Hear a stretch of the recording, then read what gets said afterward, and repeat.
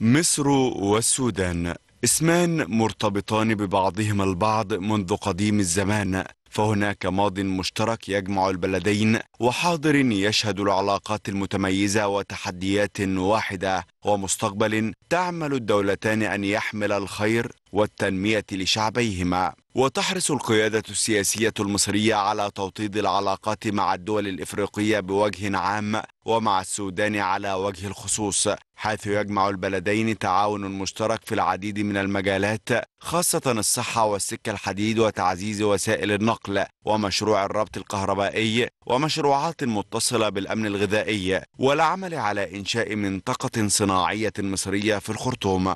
الدعم المصري للسودان ظهر جليا خلال المرحلة الانتقالية التي مر بها وهو الأمر الذي لاقى إشادات كبيرة من السودانيين أنفسهم. فالمصير المشترك جعل الأمن القومي لكل منهما مرتبط بالآخر كما تعمل مصر والسودان بخطوات توافقية فيما يتعلق بأزمة سد النهضة. فالمصير المشترك للدولتين جعل من توافق القرارات السبيل المناسب للتعامل مع تلك الأزمة كما كانت مصر داعمة للسودان في أزماتها كافة والتي كانت آخرها السيول التي ضربت البلاد وتسببت في تدمير وتشريد مئات البيوت والسكان حيث حرصت القاهرة على تسيير جسر جوي يحمل المساعدات الغذائية والطبية للأشقاء حتى مرور الأزمة. الأمر الذي يؤكد دوما على أن العلاقات بين شعبي وادي النيل أزلية وباقية.